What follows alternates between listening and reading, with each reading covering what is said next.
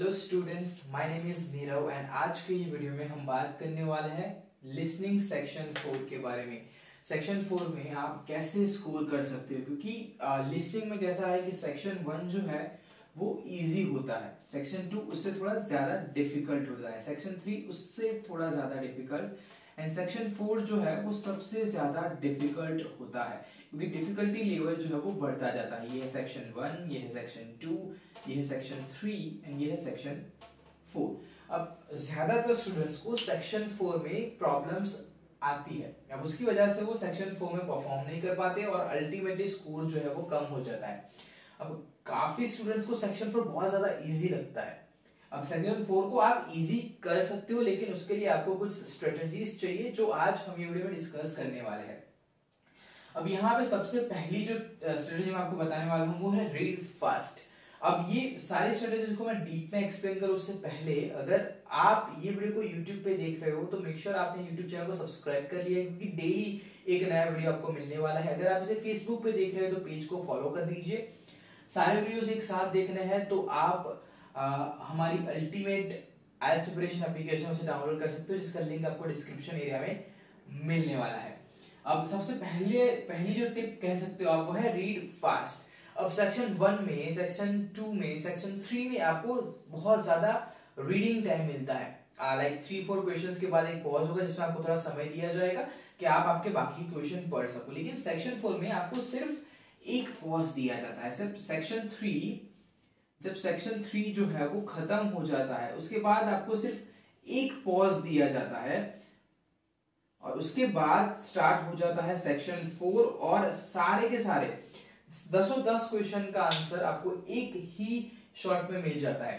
तो यहाँ पे आपको एक जो सिंगल पॉज मिलता है, उसमें आपको आपके दस क्वेश्चंस को पढ़ना होता है।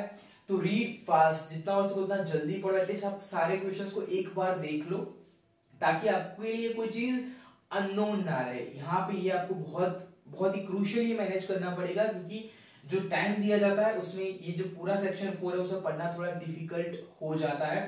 प्रैक्टिस करो प्रैक्टिस करने पे ये चीज़ ठीक हो सकती है right then second one is underline keyword अब ये तभी हो पाएगा जब आप ये जो पहली वाली टिप है रीड फास्ट वो फॉलो कर पाओगे।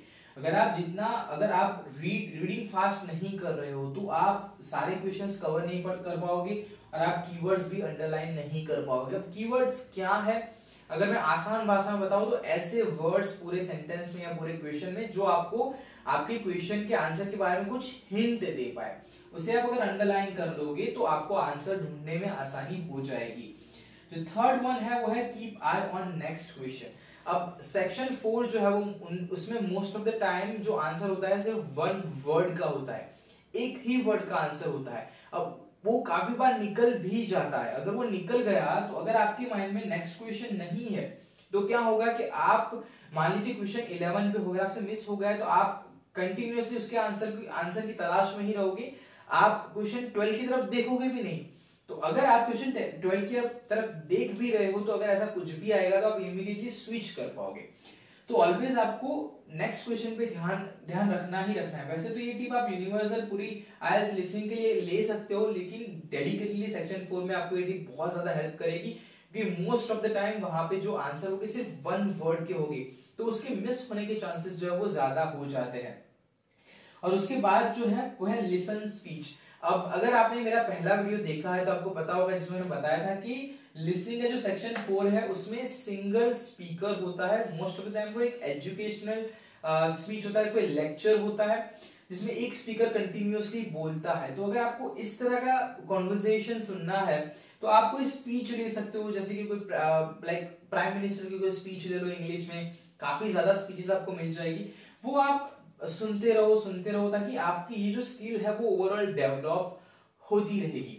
तो ये चार टिप्स फॉलो करके आप आपका लिसनिंग सेक्शन फोर का स्कोर जो है वो इंप्रूव कर सकते हो। तो बस ये वीडियो में इतना ही। आशा रखता हूँ आपको ये वीडियो पसंद आया होगा। अगर आया है लाइक करो शेयर करो। अगर ये वीडियो को यूट्यूब पे देख रहे हो, अभी तक चैनल को सब्सक्राइब नहीं किया तो सब्सक्राइब कर दो। अगर आप ये वीडियो को फेसबुक पे देख रहे हो तो फेसबुक पेज को फॉलो कर दो। अगर आपको ज़्यादा स्टडी मटेरियल ये सारे वीडियोस एक साथ देख रहे हैं तो हमारी फ्री एंड्रॉइड एप्लीकेशन है अटर मोस्ट प्रिपरेशन एप्लीकेशन जो आप डाउनलोड कर सकते हो। लिंक आपको डिस्क्रिप्शन एरिया में मिल जाए